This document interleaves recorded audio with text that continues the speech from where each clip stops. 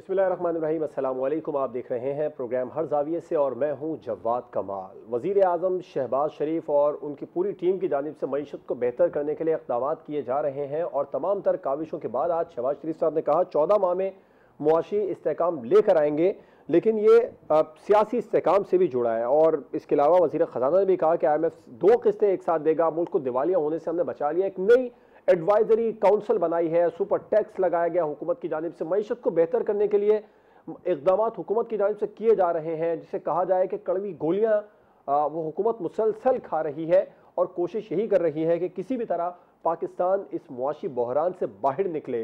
आ, किसी भी किस्म का तो पाकिस्तान में जो डिफ़ॉल्ट होने के ख़तरात हैं उन उन तमाम तर बातों से पाकिस्तान बाहर निकले और अब एक नई एडवाइजरी काउंसिल बनाई है, जिसमें वजी ममलिकत है मुख्तलिफ़ रखे हैं, जिनमें आयशा गौस पाशा, मुसद्दिक मलिक साहब हैं, हसन इकबाल साहब, मिफ्ता इसमाइल मरीम औरंगज़ेब साहब और कुछ दीगर जो है, वो मुआशी माहरीन को भी इस एडवाइजरी काउंसिल में रखा गया क्या मर्ज का इलाज हो सकेगा?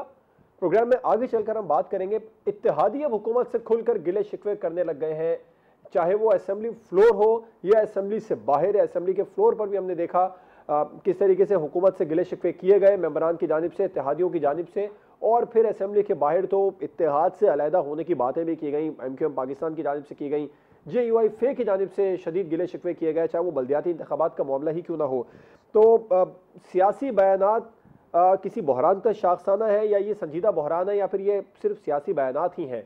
और प्रोग्राम के आखिर में बात होगी वज़ीर अला पंजाब के इंतब के हवाले से हमजा शबाज को उहदे से हटाने के लिए लाहौर हाई कोर्ट में जो समाज जारी है इस केस की, गो कि ये एक एक इस वक्त अदालती मामला है। हम किसी भी किस्म के कानूनी नुकात पर बात नहीं करेंगे, लेकिन सियासी पॉइंट पर ज़रूर हम अपने तजियाकारों का मौक़ लेना चाहेंगे कि एक एक रिमार्क सामने आए अदालत की जानब से कि अगर ये मुनहरफ अरकान को हटा कर दोबारा से वजारत आला के इंतखब करवा दिए जाएँ तो फिर क्या हल हो सकता है? क्या ये पंजाब के सियासी बहरान का हल निकल सकता है इस तरीके से? इस पर बात होगी, अपने मेहमानों का आपसे तारुफ करवाऊँगा। हमें ज्वाइन किया है सीनियर तजियाकार शहजाद चौधरी साहब ने। सीनियर तजियाकार सज्जाद मीर साहब प्रोग्राम में हमारे साथ मौजूद हैं और सीनियर तजियाकार सलमान आबिद साहब प्रोग्राम में हमारे साथ मौजूद हैं। तमाम मेहमानों का बहुत शुक्रिया। शहजाद चौधरी साहब एक और नई एडवाइजरी काउंसिल बनाई है, मीशत को बेहतर करने के लिए। सुपर टैक्स के बाद, पेट्रोल के प्राइस बढ़ाने के बाद, मजीद मुश्किल मुआशी फैसले लेने पड़ेंगे, इसका भी इशारा वजी अजम ने आज दे दिया। मरज का इलाज हो जाएगा। एक तो नेशनल इकोनॉमिक काउंसिल होती है ना, जिसके अंदर के हुकूमती लोग शामिल होते हैं और कुछ चैम्बर्स के लोग होते हैं जो कि नेशनल इकोनॉमिक काउंसिल के अंदर उसके मेंबर्स होते हैं। वो तो बाहर सूरत एक कॉन्स्टिट्यूशनल वो है रिक्वायरमेंट है, उसको पूरा किया जाता है और वो इस हुकूमत ने आते ही जब वजी अजम ने नेशनल इकोनॉमिक काउंसिल को को, को, सेटअप किया था। ये वाली जो काउंसिल है ये वाइडर नेट है एडवाइज़र्स का। यानी ये वो लोग हैं जो कि ज़रूरी नहीं कि हुकूमत का हिस्सा हों लेकिन हुकूमत से बाहर बैठे हैं। इकोनॉमिस्ट हैं ये लिखते हैं उसके बारे में इकोनॉमी के बारे में अपनी राय देते हैं और एक इकोनॉमी के बारे में जनरली एक जिसे इंटेलेक्ट कहते हैं इकोनॉमिक इंटेलेक्ट पोजेस करते हैं रखते हैं। तो इस इंटेलेक्ट को इस्तेमाल ना करना एक बहुत गलत बात होती ऐसे माहौल के अंदर, जबकि पाकिस्तान एक बहुत मुश्किल माशी सूरत हाल से दो चार है। तो यही हम कह रहे थे काफ़ी अरसे से कि आपको एक बड़ी सुपरा इकोनॉमिक काउंसिल चाहिए, और मैं तो इस हद तक गया था कि वो कॉन्स्टिट्यूशन से ऊपर तो नहीं हो सकती, लेकिन कॉन्स्टिट्यूशन में उसका मकाम होना चाहिए, जिसके मुताबिक जो उसकी जो एडवाइस है वो बाइंडिंग होनी चाहिए किसी भी गवर्नमेंट के लिए। लेकिन वो उस वक्त आए जहूर पजीर हो सामने आए जबकि एक जैसे कहते हैं कि चार्टर ऑफ़ इकोनॉमी तमाम पॉलिटिकल पार्टीज़ एग्री कर चुकी हों, तभी वो कॉन्स्टिट्यूशन के अंदर उसकी जगह बन सकती है। और वो अगले पाँच छः साल, दस साल के लिए एक ऐसा ब्लू प्रिंट बनाए जिससे कि पाकिस्तान अपनी माशी मुश्किल से छुटकारा हासिल कर ले, एक रास्ता तयन किया जाए जिसमें कि आईएमएफ का रोल कम से कम हो या इंटरनेशनल फाइनेंशियल इंस्टीट्यूशन पे जो डिपेंडेंस है या जो बायोलेटरल डिपेंडेंस है वो कम से कम हो। तो ये तो एक बहुत अच्छी बात है।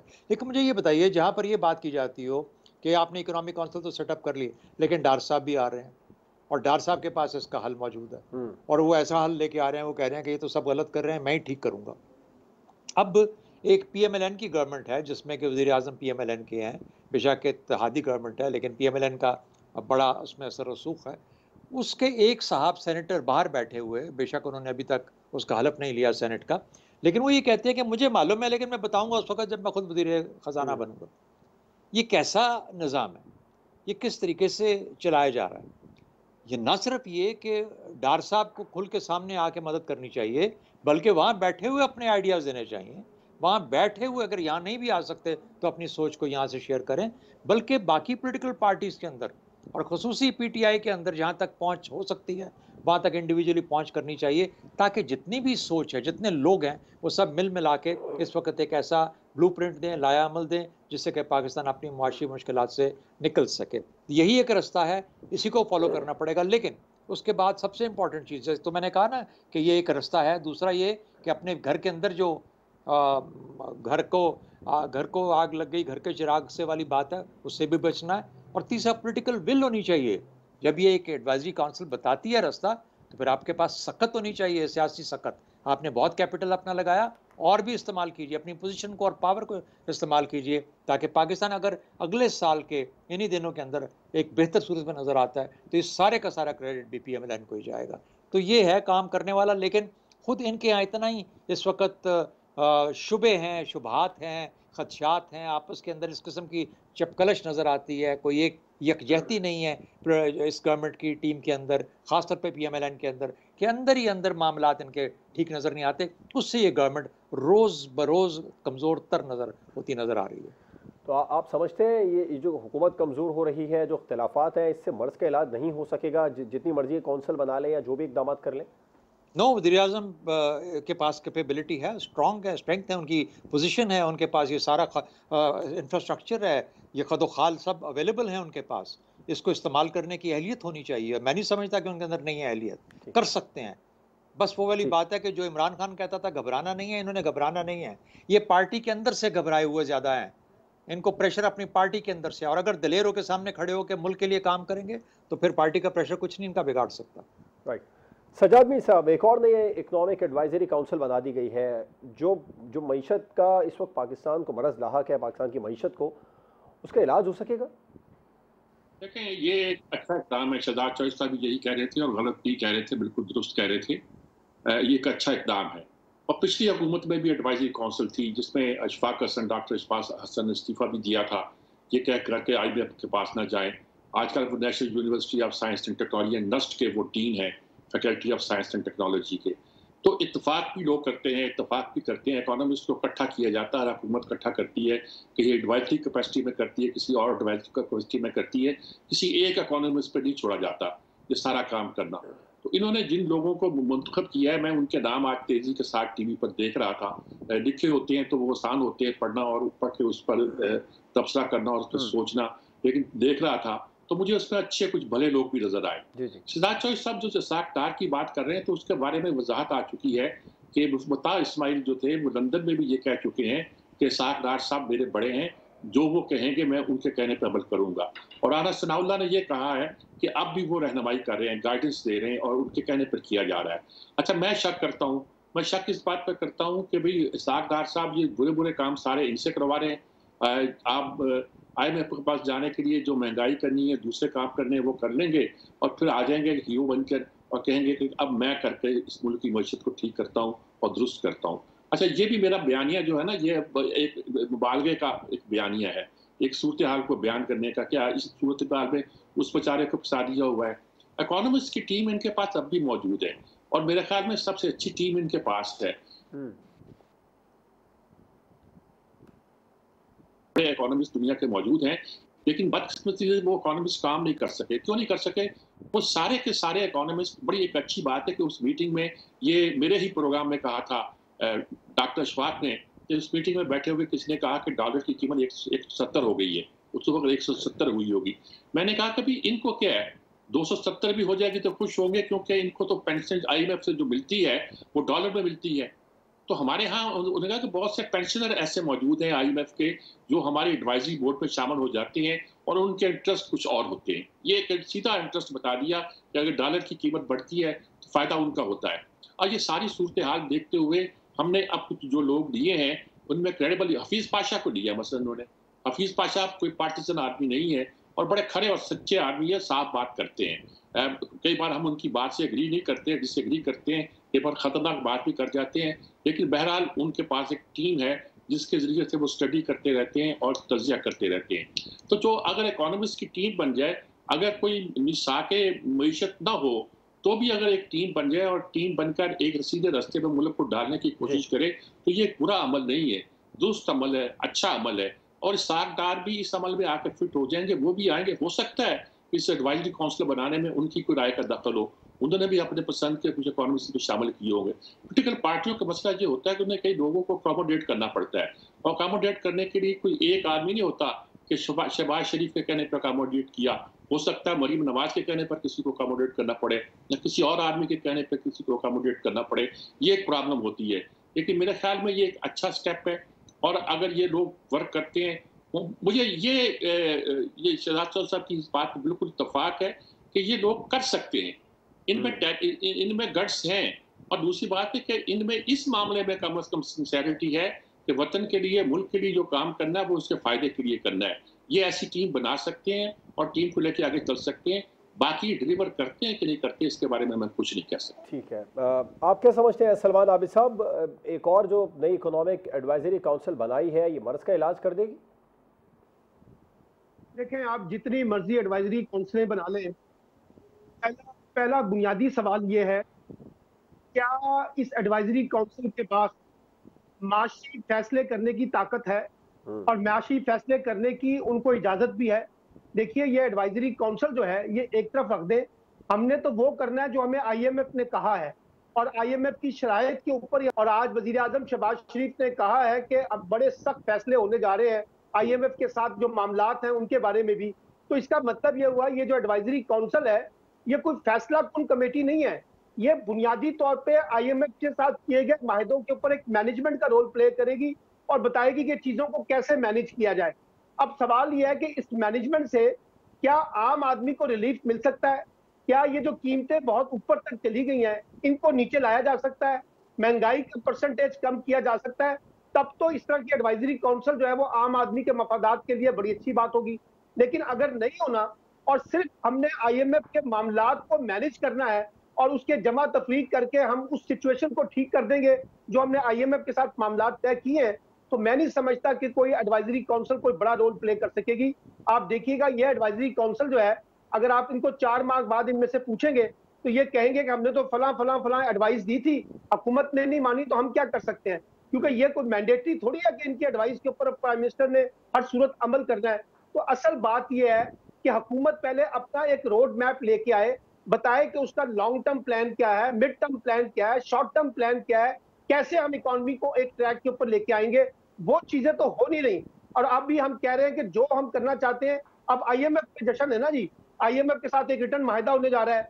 अब आईएमएफ के साथ जो रिटर्न माहिदा हो रहा है, वो किस हद तक आम आदमी के मफादात को फ़ायदा पहुंचाएगा या इस मुल्क की मीशत को कितना खड़ा कर सकेगा, ये वो बुनियादी नोयत के सवाल हैं। तो इसलिए एडवाइजरी काउंसिल हो या वज़ीर खजाना साहब हो या लंदन में बैठे हुए साहबदार जादूगर साहब हो सवाल ये है कि किसके पास कोई रोड मैप है कोई वे आउट है इस इकॉनमी को दुरुस्त करने का? वो तो अभी तक हमें समझ नहीं आ रहा। यानी एक दिन मिफ्ता इस्माइल कुछ कहते हैं और ये जो वज़ीर खजाना मिफ्ता इस्माइल साहब है इनके बारे में सागदार ने कहा कि इसको तो मीशत की अली बे का भी नहीं पता। इसको कहाँ से पता मीशत क्या होती है? वो वहाँ से बैठ के ये कह रहे हैं। अब वो आएँगे तो देखेंगे वो कैसे मीशत चलाते हैं या कैसे चला सकेंगे। तो इसलिए बात यह है जो शहजाद चौधरी साहब ने कहा है कि हुकूमत के अपने अंदर जो है ना, वो ठोस मनसूबा बंदी या वो रोड मैप नहीं है। हमारे यहाँ हुकूमतें आ जाती हैं और एक हकूमत की तब्दीली भी हो जाती है। लेकिन जब आप अपोजिशन में होते हैं तो आप एक जज्बाती नारों। के साथ मीशत को डील करते हैं। जब आप हुकूमत में आते हैं तो आपके पास पता चलता है कि आपके पास तो रोड मैप ही कोई नहीं, कोई प्लान कोई नहीं। इसलिए मैं नहीं समझता कि इस एक, एक, एक, जो एडवाइजरी काउंसिल बनने जा रही है इससे कोई पाकिस्तानी मीशत का भला होने वाला है।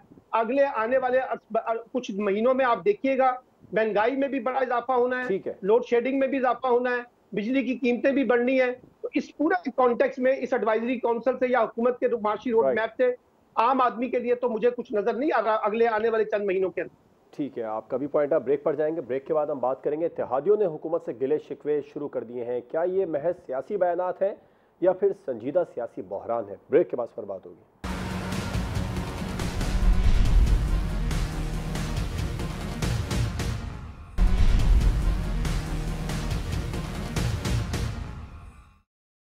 वेलकम बैक इतिहादी हुकूमत से गिले शिकवे करते नज़र आ रहे हैं। असम्बली फ्लोर पर भी हमने देखा कि मुख्तलिफ़ सियासी जमातों के रहनुमा गिले शिकवे हुकूमत से करते नज़र आए। इसके अलावा फ्लोर के बाहर असम्बली के बाहर भी देखा। बल्दियाती इंतबात के जब सिंध में नतज सामने आए गैर हतमी गैर सरकारी, उसके बाद M Q Pakistan J U I F ने जिस तरह गिले शिकवे हुकूमत से किए। ये क्या ये सब महज बयान हैं, सियासी बयान हैं या फिर संजीदा बहरान है? सजाद मीर साहब। बयान कर देता हूँ, आप समझते हैं क्या सचमुच ये हुकूमत टूट सकती है? या सिर्फ़ ये कि बयान से वो कुछ अपनी बातें मनाना चाहते हैं? शायद ये फ़र्क आप बयान करना चाहते हैं और दुरुस्त करना चाहते हैं। यहाँ तक सूरत ये बयान की है कि उस वक्त तक कायम रहेंगे जब तक इनके पीछे बाइंडिंग फोर्स मौजूद है। अब मैं बाइंडिंग फोर्स की ज़्यादा तस्वीर नहीं करना चाहता। ये सारे इतिहादी जो होते हैं जब इकट्ठे होते हैं तो आ, आ, कोई वजह होती है इनके इकट्ठे होने की। और जब ये इख्तलाफ भी करते हैं और बहुत कुछ बोलते भी हैं तब भी कुछ नहीं कहते। और अगर ये अलग भी हो जाते हैं तो आम आवाजार छोड़ देते हैं लेकिन हुकूमत के खाते में अपने वोट रहने देते हैं। ऐसा भी हुआ है हमारे मुल्क में। सबने देखा कि होता आया। तो ये जो सारी सूरत हाल है इसको हम पर, जो परखना चाहते हैं वो देखना चाहते हैं कि ये वादे आपस में किए गए थे उनको पूरा करने के लिए ये दबाव डाला जा रहा है ये किस कदर दुरुस्त है? एम पी एम को शिकवा है कि सिंध के बहुत से इलाकों के में आ, वो पहले मेजोरिटी में थे उनकी सीटें थी मीरपुर में थी नवाज़ साहब में थी इस बार उन्हें जीते नहीं दिया गया। और दांदली हुई फलां किया गया ये किया गया वो किया गया। पीपल्स पार्टी वाले कहते हैं कि ये इनके पास कैंडिडेट नहीं थे। और दूसरी बात है कि हमारा तो इनसे इतिहाद जो है इलेक्शन के बारे में नहीं है। तेईस के इलेक्शन भी हम अपने अपनी वोटों पे अपने अपने स्ट्रेंथ पर लड़ेंगे एक दूसरे के इतिहादी नहीं होंगे। हम्म। हम इतिहादी जिन असूलों के बारे में है बलदियाती कवानीन के बारे में है उसके बारे में हमने एग्रीमेंट किया है हम उसको ऑनर करेंगे। उसके बाद वसीम अख्तर जो कि बड़ी तुरस प्रेस कॉन्फ्रेंस कर रहे थे, उन्होंने वजाहत की कि कुछ हम एक महीने के अंदर इसको इम्प्लीमेंट होना था। कुछ हमसे भी देर हुई, कुछ हुकूमत से देर हुई। और किसी ने ये कहा कि शायद ये ऐसे बड़े मामला होते हैं, इनको तय करने में कुछ वक्त लगता है या कुछ ऐसे इसमें पेचीदगियाँ आती हैं, कुछ समझने में कुछ कुछ कोशिश दरकार होती है। तो सारी बातें कहने का मतलब ये है कि अभी इस तरह की सूरत हाल नहीं है। जो बलोचिस्तान के नुमाइंदे वो अपनी बात कहते हैं कि उस उस हुकूमत में, बताइए क्या फ़िक्र रखा है कि उस हुकूमत में हमें इज़्ज़त तो नहीं मिली थी, लेकिन फंड्स मिल जाते थे। यानी गोया तुम हमें फंड्स भी नहीं दे रहे अभी। और ये बेचारे कह रहे होंगे, हमारे पास फंड अभी है ही नहीं, जरा इंतज़ार कर लो। तो ये सारी किस्से जो कहानियाँ होती हैं, इसमें कई लोगों की, अपनी छोटी पार्टियों की, अपने इंटरेस्ट मसन एफ़ ये यू आई एफ़ जो है, सिंध के अंदर लाड़काना के अंदर, वो एक मुस्तकिल एक उनका स्टांस है पीपल्स पार्टी के खिलाफ। वो उस पर कायम है और डटे हुए हैं सुब्रो साहब, वो उस पर लगे रहते हैं। ये इंतबी मामला पर तो ये ये सूरत हाल जो है जारी रहेगी और हमेशा इलेक्शन तक भी ये अलग अलग होकर लड़ेंगे और ये कोई इंतबी इतिहाद है भी नहीं। तो ये समझा जाए कि इसके नतीजे के तौर पर कोई हुकूमत टूट जाएगी, कोई तब्दीली आ जाएगी तो सारे तजिए जो मैंने किए हैं वो तो अपनी जगह लेकिन बेसिक बात यह है कि इनके पीछे जो बाइंडिंग फोर्स है वो भी इनको टूटने नहीं देगी। Right. मेरा ख्याल है मेरा इतना ही कहना काफ़ी है इससे ज़्यादा क्या तफसील बयान करें सलमान आबिद साहब आप क्या समझते हैं? जो इतिहादी हुकूमत से गिले शिकवे करते नज़र आ रहे हैं ये सियासी बयान की हद तक है या फिर संजीदा बहरान का आगाज़ हो गया? देखिए जवाब साहब पाकिस्तान में इतनी इतिहादी जमातें हैं जो बुनियादी तौर पे ब्लैकमेलिंग की सियासत करती हैं। और मफादाती सियासत करती हैं जोड़ तोड़ की सियासत करती हैं। इसके पीछे इनके ज़ाती और जमाती मफादात होते हैं। ये हुकूमतों को ब्लैकमेल करके अपने मामला तय करती हैं, चाहे सबका हुकूमत हो, चाहे ये हुकूमत हो। और ये इतिहाद भी गैर फितरी होते हैं। यानी कल के दुश्मन आज के दोस्त बन जाते हैं, आज के दोस्त दोस्त कल के दुश्मन बन जाते हैं। यानी जहाँ और जो सजाद मीर साहब ने कहा, जो भेजने वाले हैं, इनको जहाँ भेजते हैं, ये फिर वहाँ पे रेवड़ की तरह चल पड़ते हैं। इसलिए मसला हुकूमत के खतरे का नहीं है। मैं कहता हूँ कि हमें बुनियादी बात यह करनी चाहिए कि पाकिस्तान में इस तरह की गैर मुस्तकम हुकूमतें जो दो वोट के ऊपर खड़ी हो, शबाज शरीफ की हुकूमत या इमरान खान की हुकूमत, सात आठ वोटों के ऊपर खड़ी हो, ये पाकिस्तान के मसले का हल नहीं है। पाकिस्तान को इस वक्त स्ट्रॉन्ग पॉलिटिकल गवर्नमेंट चाहिए, जिसके पास वाज मैंडेट हो और वो अपने फैसले आजादाना बुनियादों पे कर सके। यहाँ कभी एम के एम ब्लैकमेल करती है कभी पीपल्स पार्टी ब्लैकमेल करेगी, कभी जे यू आई ब्लैकमेल करेगी, कभी ए एन पी ब्लैकमेल करेगी, कभी कहीं पी एम के मिली वामी पार्टी ब्लैकमेल करेगी या कभी मुस्लिम लीग काफ करेगी। ये सारी जमातें, जो छोटी जमातें हैं या रीजनल जमातें हैं, ये बड़ी जमातों को, जिसमें पीपल्स पार्टी भी हो सकती है, पीएमएलएन हो सकती है, पीटीआई हो सकती है सिवाय सियासी ब्लैकमेनिंग के खेल के अलावा कुछ नहीं है। और अभी भी वो सिर्फ़ कुछ लो और कुछ दो की बुनियाद पे अपने मामला तय कर रहे हैं। जैसे मीर साहब ने कहा कि फंड मिल जाए हमारी मर्ज़ी का कोई गवर्नर लगा दिया जाए, हमें वजारतें दे दी जाए, हमें फला इख्तियार लगा, दे दिए जाए। इसके अलावा ये खेल कुछ नहीं है और इससे पाकिस्तान का बुरान ठीक नहीं होगा। आप देखिएगा, ये बुरान और बढ़ेगा और ये कुलेशन गवर्नमेंट, ये जो इतिहादी हुकूमतें हैं या इतिहादी जमातें हैं, ये शहबाज शरीफ साहब को भी उतना ही तंग करेंगी जितना इमरान खान साहब को पी एम एल क्यू ने और एम क्यू एम ने तंग किया या बाप पार्टी ने तंग किया या मैंगल ने तंग किया, ये इसी तरह तंग करेंगी और पाकिस्तान के क्राइसिस को डे बाय डे आगे बढ़ाएँगी क्योंकि इसका नुकसान क्या होता है? कोई हुकूमत जो है चाहे वो शबाज शरीफ की हो या इमरान खान की हो कोई बड़ा फैसला करने की पोजीशन में नहीं होते क्योंकि उनका मकसद ये होता है हमें अपनी हुकूमत बचानी है जो चंद वोटों के ऊपर खड़ी है। अगर ये हुकूमत बचाने के लिए हमें हम्म। इतिहादी जमातों की सियासी ब्लैकमेलिंग का शिकार होना है तो हो जाएँगे क्या फ़र्क पड़ता है? तो इसलिए मेरा ख्याल ये है कि बुनियादी बात की उठाए कि पाकिस्तान में इस तरह की जो कुलेशन गवर्नमेंट जो दो दो चार चार पाँच पाँच वोट के ऊपर खड़ी होती है ये पाकिस्तान के मसले का नहीं है बल्कि पाकिस्तान को बुरहान पैदा करने के की तरफ़ लेके जाती है। शहजाद चौधरी साहब आप क्या समझते हैं? ये जो इस वक्त बयान सामने आ रहे हैं हुकूमती इतिहादियों के ये सिर्फ़ सियासी बयान हैं या फिर संजीदा बहरान है? मेरा ख्याल है एक बहुत संजीदा बहरान है। हम्म। और उसकी वजह मैं आपको बताता हूँ वो ये है कि देखिए जो इतिहादी अब हमारे यहाँ पाकिस्तान में अगर आप अंदाज़ा रखें तो तेरह पार्टियों की एक गवर्नमेंट है जी। जो कि इस वक्त हुकूमत है। और उसके बाद उसके मुकाबिल है एक पार्टी या दो या डेढ़ पार्टी पीटीआई की कह लीजिए पीएमएलक्यू का एक धड़ा छोटा सा उसके साथ है। अब ना पीटीआई इस काबिल है कि वो एक टू थर्ड्स मेजॉरिटी लेके कभी हुकूमत में आए मुझे तो नज़र नहीं आता। हम्म। और सिमिलरली ये तेरह पार्टियाँ भी कभी इकट्ठी नहीं रह सकती क्योंकि कब तक इस तरह की एक हुकूमत लेके चल सकते हैं। ये गैर फितरी अननेचुरल सी चीज़ है। तो पाकिस्तान का सियासी ढांचा इतना ही मखदूश है इतना कमज़ोर है, इतना अननेचुरल और गैर फितरी है कि इसको किसी ना किसी शक्ल में इसको बिठाना पड़ेगा।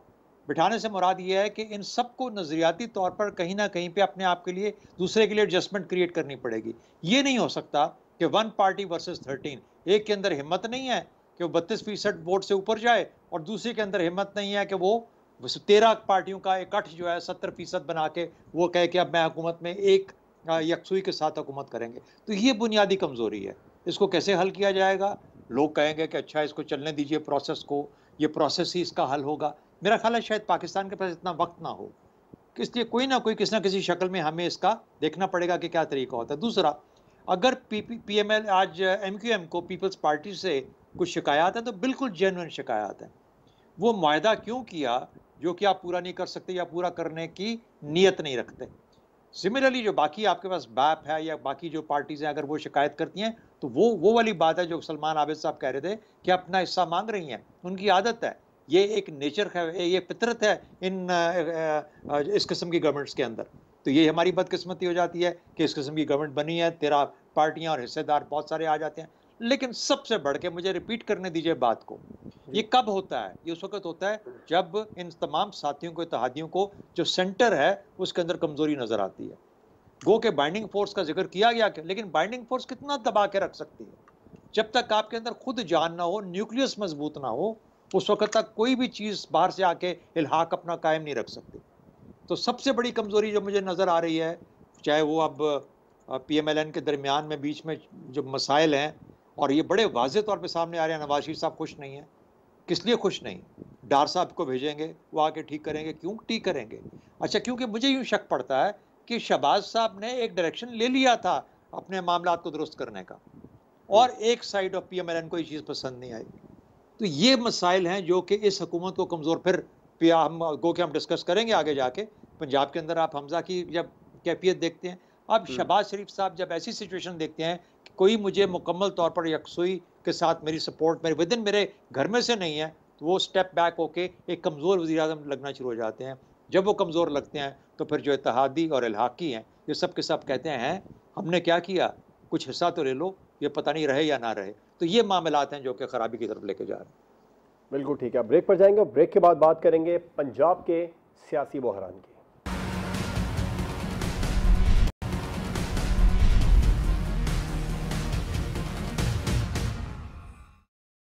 वेलकम बैक हमजा शहबाज को अहदे से हटाने के हवाले से लाहौर हाई कोर्ट में समात हुई, जिसमें बड़े दिलचस्प समात भी सामने आए। गो कि ये मामला अदालत में है, हम इसके किसी भी कानूनी नुकात पर डिस्कस नहीं करेंगे। हम सियासी मामला पर बात करेंगे। और एक रिमार्क आया सामने कि 25 मुनरफ अरकान को निकाल कर अगर दोबारा वोट करवा लिए जाए तो क्या ये बहरान का हल निकल सकता है? आप क्या समझते हैं, शहजाद चौधरी साहब? ये हल हो सकता है पंजाब के सियासी बहरान का?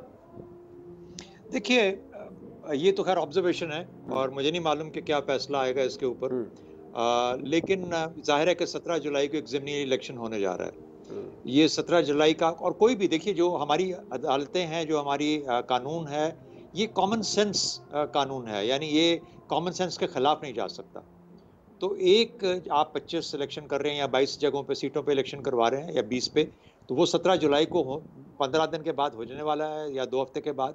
हो जाएगा तो उसके बाद आपके सामने एक पिक्चर क्लियर होकर वाजे आ जाएगी कि जो मेम्बरान छोड़ के चले गए या जो ज़मनी, जिनकी वजह से ज़मनी इंतबात हो रहे हैं, अगर उनमें से जो भी रिज़ल्ट आता है, वो फिर एक हाउस को कंप्लीट करेगा और हाउस की पोजीशन को डिटरमिन करेगा। अच्छा अब जो बड़ा सवाल है वो ये है कि जब से हमजा शहबाज साहब ने हलफ लिया, उससे लेके अब तक जो उन्होंने हुकूमत के अंदर जो फैसले किए, जो अखराज किए क्या उनकी कोई कानूनी हैसियत है या नहीं है? तो मेरा ख्याल है कि वो बड़ा सवाल है, वरना हाउस तो कंप्लीट होने जा रहा है सत्रह जुलाई को। और जब हाउस कंप्लीट हो जाएगा तो उसके बाद वाजियों के सामने पोजीशन आ जाएगी कि कौन सी साइड के, किसके पास एक सौ छियासी, एक सौ सतासी वोट मेंबर्स अवेलेबल हैं। और जिसके पास भी होंगे, वो अगर तो हमजा शहबाज के पास हुए, और ये यकीनन स्टेज आएगी कि हाउस के अंदर जब ये फैसला किया जाएगा कि वोट ऑफ़ कॉन्फिडेंस या वोट ऑफ़ नो कॉन्फिडेंस की शक्ल में उनको अपनी मेजॉरिटी या अपना कॉन्फिडेंस दिखाना पड़ेगा। तो इसलिए वो स्टेज आएगी और ये फैसला हो जाएगा कि आया ये हुकूमत लीगल है, जायज़ है या जायज़ नहीं है। और उसके बाद अगर कोई और हुकूमत आती है उसके अपोजिशन वालों की तो फिर उस सूरत में उस हुकूमत को ये फैसला करना है कि हमजा शहबाज साहब के जितने वो तमाम स्टेप्स जो लिए उन्होंने, चाहे वो एडमिनिस्ट्रेटिव थे एज अ चीफ मिनिस्टर या उनकी क्या कानूनी हैसियत है और उनको किस तरीके से कंडोन किया जा सकता है। अच्छा कानून के अंदर ये गुंजाइश मौजूद होती है और अदालत आम तौर पे ऐसे फैसले दे देती है जहाँ पर वो ये कहे कि अगर ऐसी सिचुएशन डेवलप होती है और फिर वापस उनके पास जाया जाता है कि इनको जैसे कहते हैं कि फिनिश एंड क्लोज बिज़नेस समझा जाए यानी ये मामला लीगल तौर पर उनको समझा जाएगा कि लीगली हुआ है। तो एनी anyway, ये ये चीज़ें हैं इन जो कि मेरे हिसाब से पंजाब में नज़र आ रही हैं लेकिन पंजाब ही फैसला करेगा कि सेंटर में शहबाज शरीफ साहब कितने मज़बूत नज़र आते हैं नज़र आते हैं। मज़बूत तो होना चाहिए उनको हम्म। लेकिन नज़र कितने आते हैं ये पंजाब फैसला करेगा। और पंजाब ही ये फैसला करेगा कि आया सिर्फ़ पंजाब का इलेक्शन जो है ये क्या यही माना जाएगा या अगर पंजाब का इलेक्शन नहीं माना जाता किसी भी वजह से इंतज़ार ज़्यादा बढ़ जाता है तो फिर सूरत में क्या पूरा पंजाब दोबारा इलेक्शन में जाएगा? अगर वो इलेक्शन में गए तो फिर सेंटर में भी इलेक्शन आपको ऑटोमेटिकली आपके ऊपर फोर्स हो जाएगा। तो ये सिचुएशन है पंजाब की इम्पोर्टेंस तो आप, आप ये समझते हैं कि वज़ीर अला का दोबारा इंतखब ही बहरान का हल है? मैंने कहा ना वज़ीर अला का इंतखब होना एक लाजमी जुज है हम्म। लाजमी अमर है। जिस सत्रह जुलाई के इलेक्शन के बाद पता लग जाएगा कि आया 187 इनके पास एक सौ इकहत्तर वोट्स हैं इस वक्त। मेम्बरान हम्म। उनकी सपोर्ट हासिल है उनको सिर्फ़ और सिर्फ़ तो 171 के साथ तो वो नहीं हुकूमत बना सकते ना। तो इसके लिए तो पूरा जब कॉन्फिडेंस या वोट ऑफ़ नो कॉन्फिडेंस आएगा तो वो तो 186 या 187 की मेजोरिटी बतानी पड़ेगी, दिखानी पड़ेगी। वो क्या उतनी सीटें आ जाती हैं जो कि उनको वो पोजीशन देती हैं? नॉमिनेटेड मेंबर्स भी कुछ आएँगे। ये भी मामला भी करने हैं इलेक्शन कमीशन ने तो देखिए अभी हाउस कंप्लीट नहीं है। जब तक हाउस कंप्लीट नहीं होता उस हम्म। वक्त तक मेजोरिटी डिटर्मिन करना इम्पॉसिबल है। उस लिहाज से हमजा शहबाज की पोजीशन के ऊपर हमेशा सवाल रहेगा और दोबारा इंतखाब की बात नहीं है। ये कॉन्फिडेंस और no no confidence within the house ही ये मामला तय हो जाएगा। राइट सलमान आबी साहब आप क्या समझते हैं? ये जो दोबारा इंतखाब अगर हमजा शहबाज का जो नो कॉन्फिडेंस मोमेंट के हवाले से हुआ था मोशन के हवाले से दोबारा इंतखाब ही पंजाब के बहरान का हल है? पंजाब के बहरान जो है वो ख़त्म होने वाला नहीं है। के दरमियान जो है ना, वो दो सियासी जमातों के दरमियान एक पानी जंग है। और पीटीआई पीटीआई और एन के दरमियान जो जंग चल रही है, उस जंग के सियासी असर जो है, उसका ताल्लुक महज जो है, महाजराई बढ़ेगी। और जैसे शहजाद चौधरी साहब ने कहा कि जो बाई इलेक्शन होने जा रहे हैं उसकी वजह से, उसकी वजह से आप देखिएगा कि महाजराई बढ़ेगी, लोग इंतबी नतीजे को तस्लीम नहीं करेंगे। तो पंजाब का बहरान बढ़ेगा और पंजाब में चाहे शहबाज शरीफ, अमदा शहबाज दोबारा वजी अला बन जाए, चाहे वो वजी अला ना बने, हाउस जिस वक्त कंप्लीट होगा, बीस लोग आएँगे, उनके इंतबी नतज को मुतनाज़ा बना दिया जाएगा। और ये कहा जाएगा कि हम इंतबी नतज को तस्लीम नहीं करते, पहले ही इलेक्शन कमीशन की कारकर्दगी पर सवाल उठ रहे हैं। तो इसलिए मुझे तो ये लग रहा है कि ना सिर्फ़ आईनी बुरहान बल्कि आपका सियासी बुरहान भी पंजाब में बढ़ेगा। अल्टीमेटली ये सारी गुफ्तु जो है नए इंतबात की तरफ़ जाएगी और ये सिर्फ़ पंजाब तक महदूद नहीं है। आप देखिए मरकज में भी जो दो जमातों के ऊपर दो जम, दो वोटों पे खड़ी हुकूमत है इसमें कोई भी एक, एक अलायंस जो है अगर वो स्किप करता है तो फिर मरकज की हुकूमत पे भी सवाल आ जाते हैं।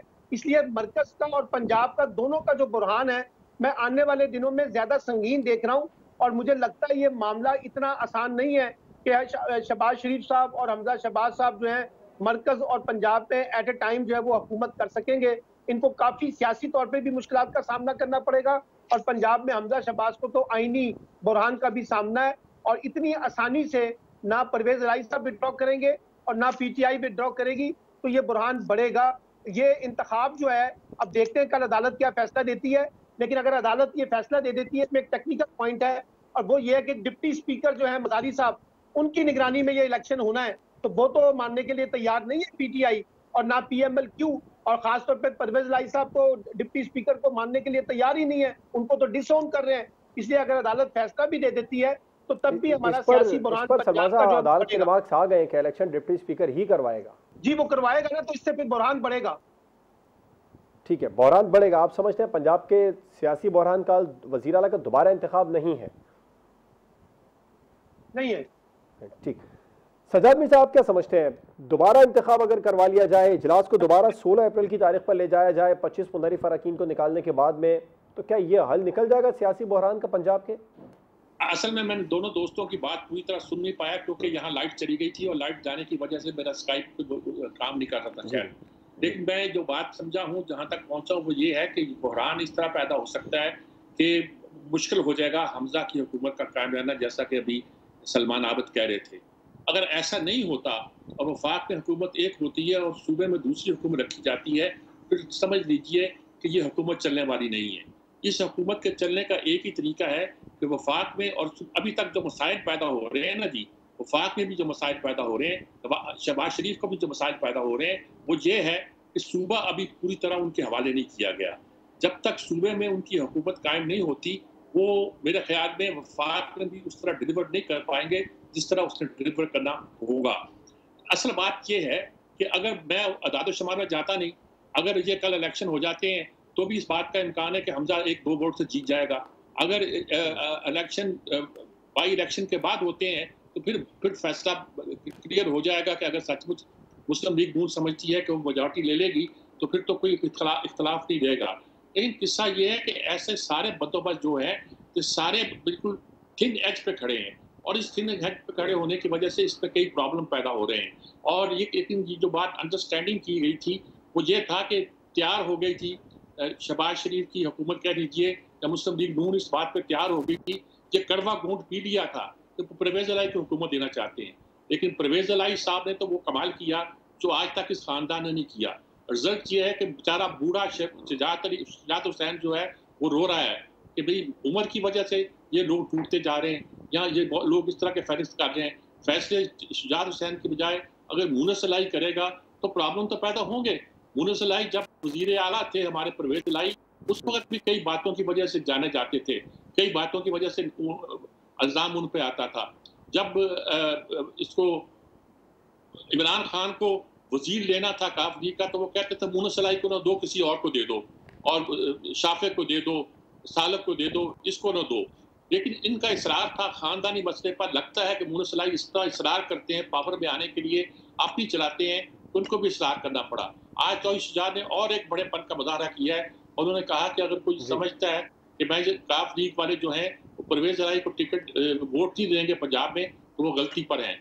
वो परवेज अलाई को वोट देंगे और मैं उनको कहता हूँ कि वो अपने वोट परवेज अलाई को दें। ये खानदानी साधन उधर चल रहा है इधर भी होगा प्रॉब्लम उधर भी प्रॉब्लम है। तो ये एक एक ऐसी सूरत हाल है जो कंटिन्यू कर रही है और इसको मैं इन लफ्जों में बयान करता हूँ कि पंजाब अभी तरह पूरी तरह मुस्लिम लीग के हवाले नहीं किया गया। और जब तक ये नहीं होता एक समूथ गवर्नमेंट की रनिंग जो है वफाक में भी चलना बहुत मुश्किल दिखाई देता है। क्या फैसला होता है क्या नहीं होता है ये तो आने वाले दिन इस पर भी मुख्तर जवाब ले लेते हैं। मैं, मैं तमाम मेहमानों से दरखास्त करूँगा। मुख्तर शहजाद चौधरी साहब अगर मुश्किल हुआ हमजा शहबाज का पंजाब में दोबारा वजी अला बनना दोबारा इंतखब के बाद या पंजाब में हुकूमत को कायम रख पाना मुश्किल हुआ तो यकीनी तौर पर मरकज़ में भी नून लीग की हुकूमत लरस जाएगी या ख़त्म हो जाएगी? हाँ देखिए असल में तो वज़ी अजम पाकिस्तान जो है वो बड़ी हद तक कहते हैं कि सिर्फ़ इस्लामाबाद के वज़ी अजम हैं।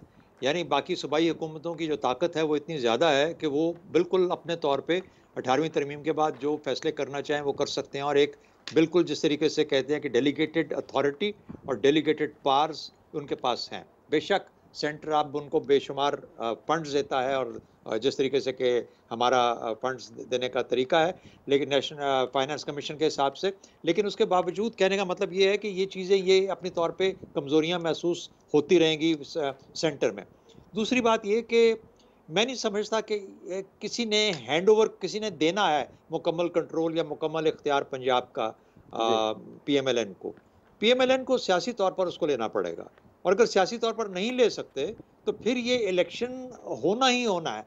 सवाल आपका बार बार आता है ये नहीं हो सकता कि सूबाई असम्बली के अंदर परवेज लाई एक असम्बली चला रहे हैं और ऐवान इकबाल के अंदर deputy speaker P M L N की जो गवर्नमेंट है। उसको हमजा शहबाज की असम्बली चला रहे हैं। ये दो असम्बलियाँ चल नहीं सकती। तो ये इसको कहीं ना कहीं पे जाके आपस में टकराव की सूरत तो पैदा हुई हुई है इसको कहीं ना कहीं पे जाके ख़त्म होना है और वो ख़त्म होने का मकाम वही है जहाँ पर इलेक्शन आप बार बार ये पूछते हैं हमसे कि क्या हमजा शहबाज साहब के लिए दोबारा इलेक्शन होना चाहिए या नहीं होना चाहिए? मैं आपको बता रहा हूँ कि गालिबा मुकम्मल तौर पर पंजाब में इलेक्शन दोबारा कराने पड़ेंगे और अगर पंजाब में दोबारा इलेक्शन होंगे तो फिर सेंटर में भी यकीन हो राइट सजाद भी साहब आप मुतफिक है। पंजाब में हुकूमत अगर मुश्किल नून लीग संभाल सकी तो फिर वफाक में भी हुकूमत खत्म समझें? देखिए शहबाज शरीफ साहब को वफाक में हुकूमत इसीलिए दी गई है कि पंजाब उनके पास है। अगर पंजाब उनके पास नहीं है तो जरदारी साहब भी आके थका सकते हैं कभी आपके पास तो वो ताकत ही नहीं है जिस ताकत के ज़ोर पर हमने आपको हुकूमत वफाक की सौंपी थी। ये सारी सूरत बिल्कुल वाजे है। और जो मैं कहता हूँ कि हुकूमत दी, दी नहीं गई तो मैं इस पर इसरार करता हूँ। अब ये परवेज लाई को किसने मुश्किल दी थी कि वो जाके आखिरी वक्त में मिले? किसका फ़ोन आया था मुंसलाई को? अब सारी बातों पे अगर बहस करेंगे तो बातें बड़ी अजीब गरीब निकलेंगी। लेकिन मसला यही है कि पंजाब का मसला जब तक सेटल नहीं होता वफाक का मसला भी सबूत नहीं होता और वफाक जब तक आगे नहीं बढ़ता और एक ताकत असल में अभी ये लोग डर रहे हैं इमरान खान से। जी। सर्वे भी कुछ ऐसे आ रहे हैं जिसमें इमरान की कुत की ज़ाहिर हो रही है। ये अंदाज़ा जो था कि इमरान जब बाहर निकलेगा तो एकदम ज़ीरो हो जाएगा वो ज़ीरो नहीं हो पाया बल्कि खासी ताकत के साथ खड़ा है। और इन लोगों का ख्याल था कि ये ख्याल के गैर मुल्की ताकतों ने साजिश की नहीं चलेगा। और मेरा भी ख्याल है ये गलत बात है। लेकिन वो भी चल गया। बहुत से लोगों ने वो किसी ने कहा कि हम तो समझते थे पाकिस्तान के लोग पढ़े लिखे हैं वो ये आइडिया बाइट नहीं करेंगे वो कर दिया। तो सारी सूरतें हैं तो इन सारी ठीक है ठीक है। करना में जो है आपका पॉइंट है मुश्किल हो। जाएगा। विफाक में भी हुकूमत चलाना पंजाब में अगर पीएमएल हुकूमत कायम ना रख पाई सजाद मीर साहब शहजाद चौधरी साहब सलमान आबिद साहब प्रोग्राम में हमारे साथ मौजूद थे। तमाम मेहमानों का बहुत शुक्रिया। प्रोग्राम आपने देखा। नाजीन आपसे मुलाकात होगी इंशाल्लाह कल। इजाज़त दीजिए। अल्लाह हाफिज़।